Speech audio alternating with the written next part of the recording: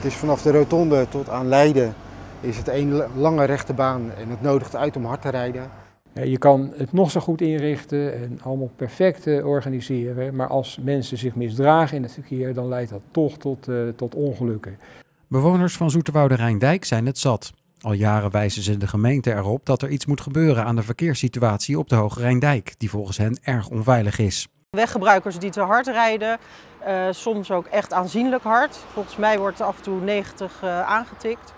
Uh, maar ook ehm, weggebruikers die niet goed opletten, die de zebra negeren of niet zien. Het, ehm, ja, het veroorzaakt allerlei gevaarlijke situaties. Dat de bewoners een serieus probleem aankaarten bleek enkele weken geleden nog. Op 16 juni kwam een motorrijder om het leven bij een ernstig ongeval op de Hoge Rijndijk. Uh, dus met hoge snelheid op de motor uh, aankomen rijden, heeft moeten remmen.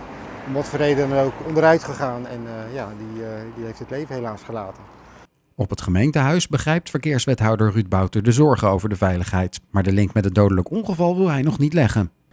Ja, ik wil hierbij toch uh, uh, nog even heel duidelijk maken dat we het dodelijk ongeluk wat heeft plaatsgevonden op de, op de Hoge Rijndijk enorm betreuren.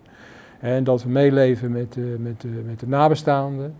Ik wil daarbij ook wel opmerken dat een kausaal verband tussen het ongeluk en de inrichting van de Hoge Rijndijk wat te kort uh, door de bocht is. Het moet eerst blijken hè, uit het uh, politierapport wat precies de toedracht is van het ongeluk.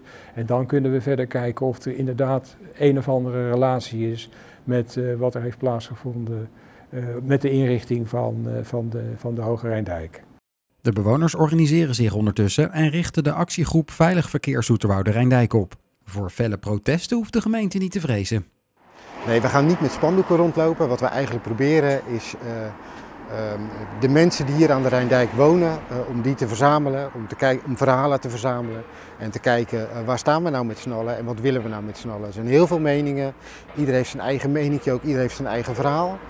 en die verhalen proberen we heel, heel goed samen te bundelen, dat we, een, ja, dat we met dat verhaal ook naar de gemeente kunnen gaan en zeggen van jongens, er moet nu wat gebeuren, want dit is wat de bewoners willen. Uh, en wat kunnen jullie voor ons betekenen? De gemeente werkt ondertussen al aan een verbeterplan. Binnen enkele maanden worden de eerste aanpassingen gedaan die de Hoge Rijndijk veiliger moeten maken.